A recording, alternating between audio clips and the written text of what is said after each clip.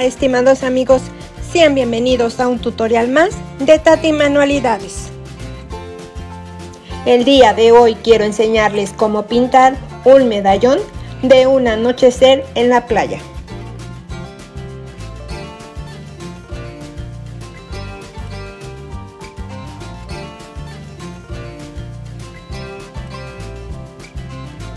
Esta bella pieza la pueden adquirir en la Academia Danny Vic o en la Colonia Masa.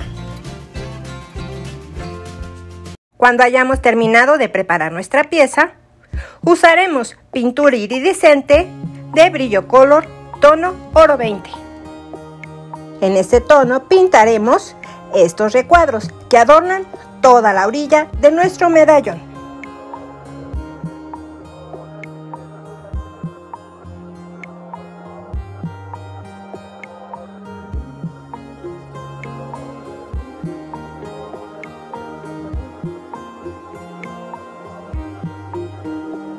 Cuando lo tengamos así, pintaremos el resto del marco con pintura metálica oro pálido, también de brillo color. Para ello usaremos un pincel de cerdas suaves.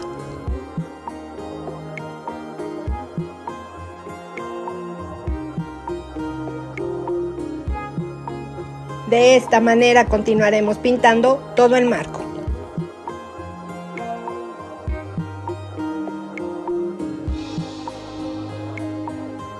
Si la pintura no cubre perfectamente, daremos una segunda mano. Y así es como debe de lucir el marco. Ahora aplicaremos pátina color cocoa a todo el fondo del medallón, excepto a las palmeras. La pátina, como siempre, la aplicaremos por partes. Primero la aplicamos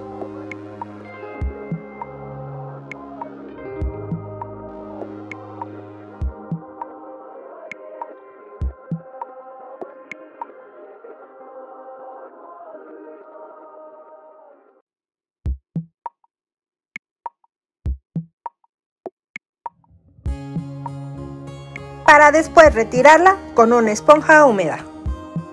Como no había pensado aplicar pátina, comencé por pintar el marco del medallón, pero les recomiendo primero aplicar la pátina y después pintar toda la orilla y borde del mismo. Así evitaremos mancharlo. Y continuamos aplicando la pátina por partes y después la retiramos. Les recuerdo nuevamente, no aplicaremos pátina a las palmeras.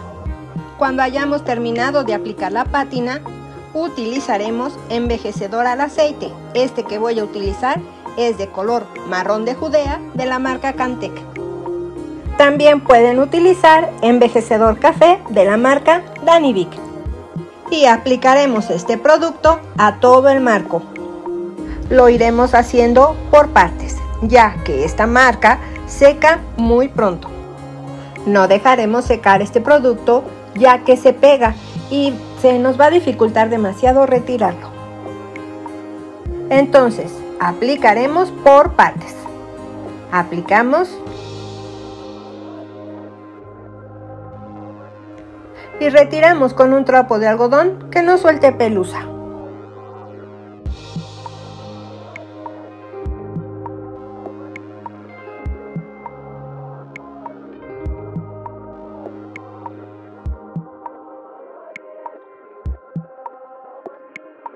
Y así lo continuaremos haciendo por todo el marco. Aplicamos y retiramos.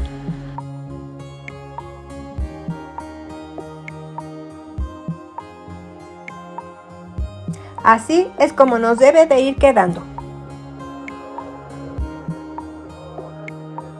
Con el color canela de Monet pintaremos el tronco de ambas palmeras.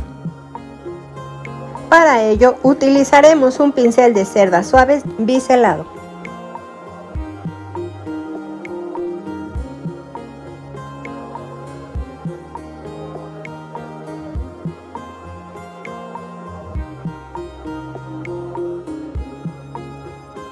Daremos dos manos aproximadamente para lograr que el color nos quede parejo. Y así continuaremos pintando los troncos de ambas palmeras. Después con el color cocoa de la línea brush de Danny Big cepillaremos en contra del dibujo ambos troncos.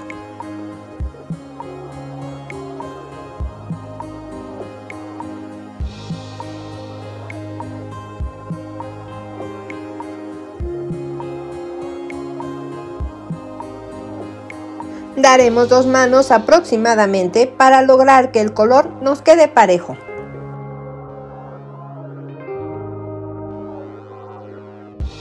Cuando nos queden así los troncos, pintaremos las hojas en verde musgo para después cepillarlas en verde cactus. Ambos tonos son de Monet.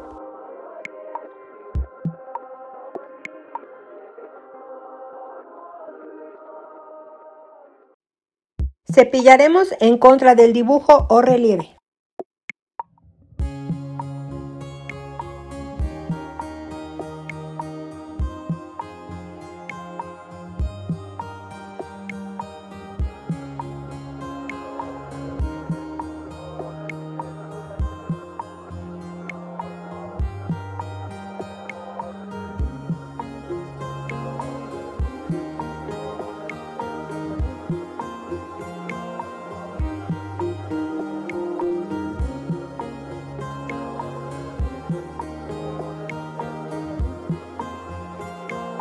Y así continuaremos cepillando. Daremos aproximadamente tres manos para lograr el efecto deseado.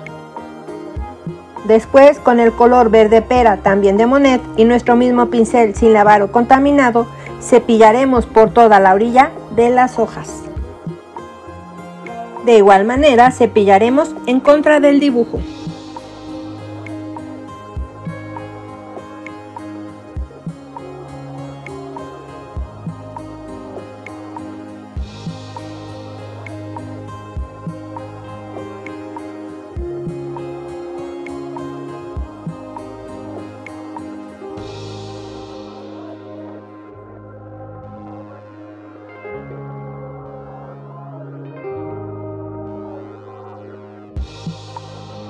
Haremos lo mismo en la palmera más pequeña.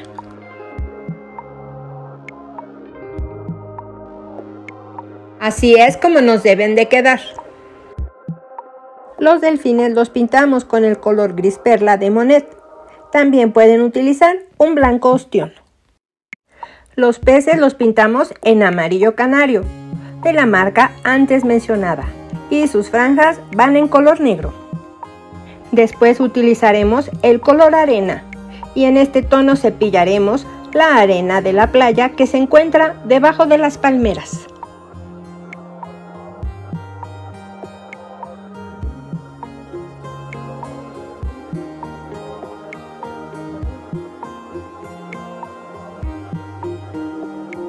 Haremos lo mismo en el otro extremo.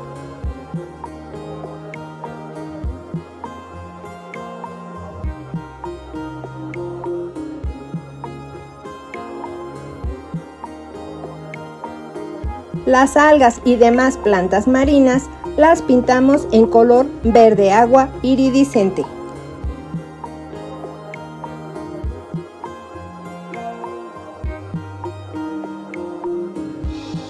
Les recuerdo que las pinturas iridiscentes son de bajo recubrimiento, por lo que se notará la sombra de la pátina que aplicamos al inicio de nuestro trabajo.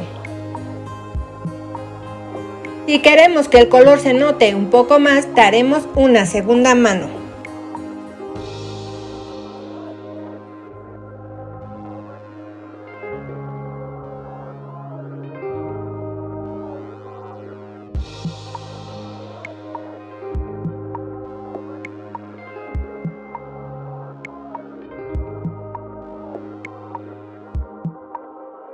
y así continuaremos pintando las algas y demás plantas marinas. Para estas piedras y la arena del fondo del mar utilizaremos el color crema iridiscente.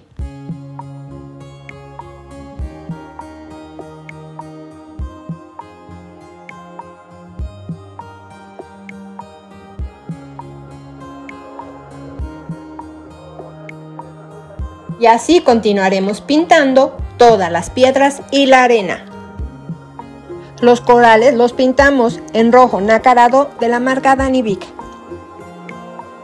Para la estrella marina utilizaremos el color Pink Iridiscente.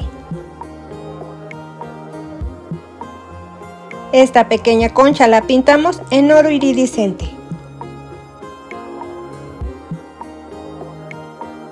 Para pintar el mar usaremos el color agua azul de la marca Monet. Y en color blanco cepillaremos las olas.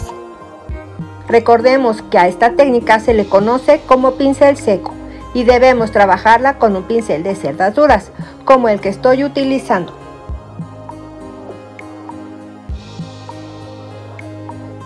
Donde encontremos relieve, cepillaremos en contra de este.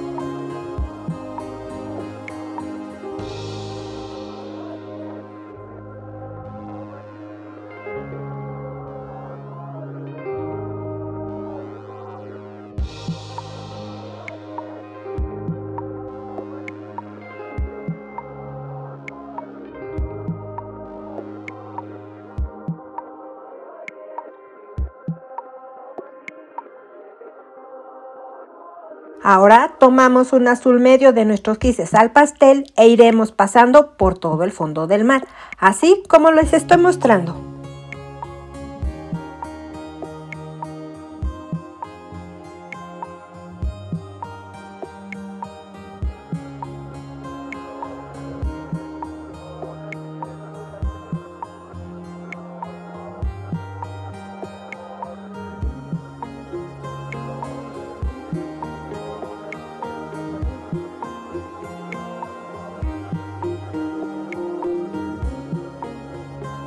Después tomamos un azul más fuerte y pasamos por encima de los corales y las plantas marinas.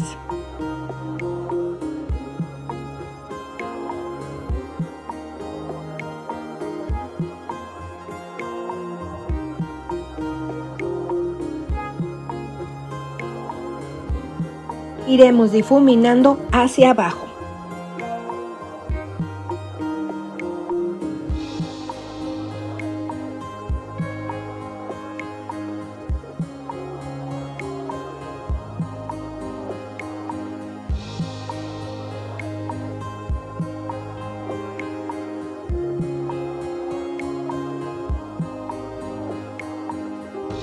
Y ahora con un azul más claro pasamos por esta zona.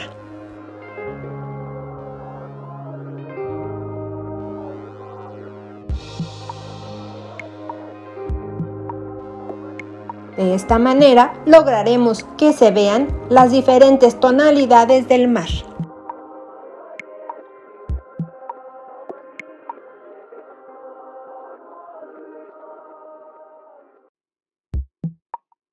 Y así es como debe de lucir. Estas burbujas las pintamos en color azul tulum de Monet. Después con el color blanco y nuestro pincel liner 10 ceros pintaremos unas tipo comitas por la orilla de las burbujas para darles más realismo.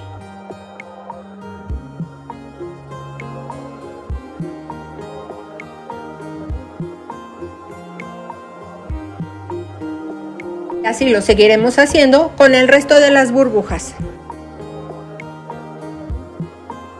Nuevamente tomamos el azul Tulum y en este tono pintamos el cielo de nuestro anochecer en la playa.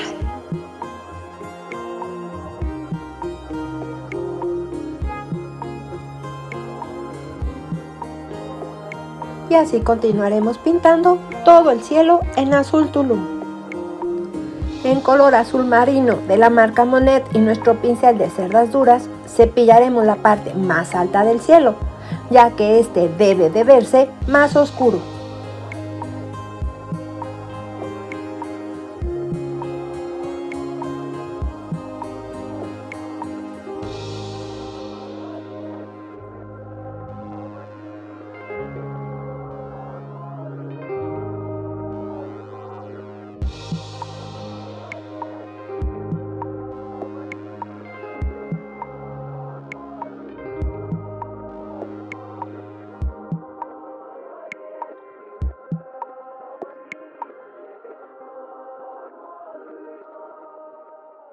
Después, con el mismo pincel sin lavar, tomamos un poco del azul tulum y cepillamos hacia abajo para ir difuminando los colores que estamos utilizando.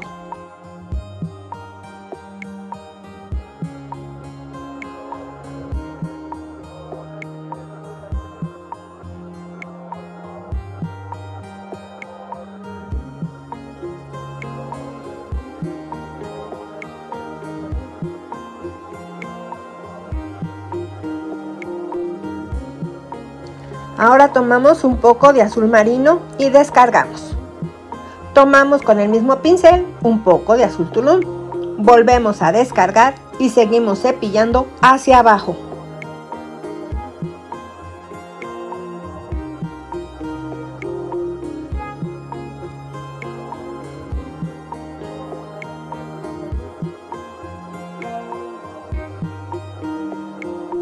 Tomamos nuevamente un poco de azul tulum y seguimos cepillando hacia abajo, así como lo estoy haciendo.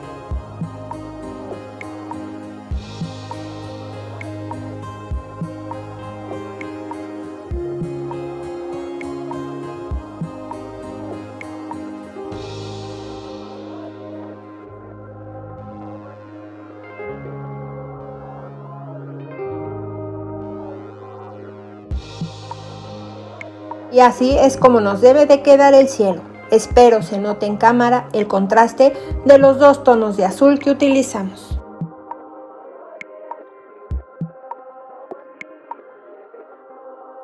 En color blanco pintamos la luna.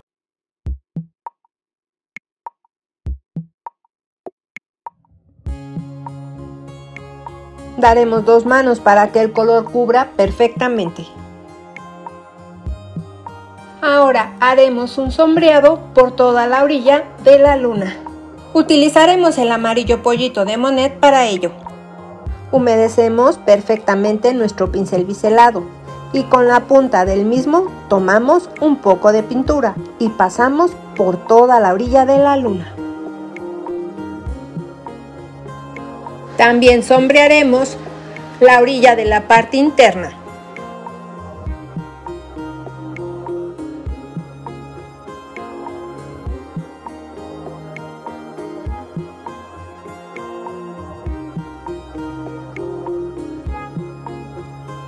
De esta manera lograremos que se vea un reflejo.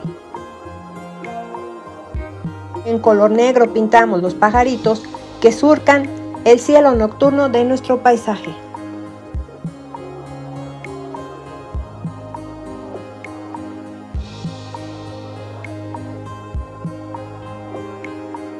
Y finalmente sellamos con la camate. Este es nuestro resultado final.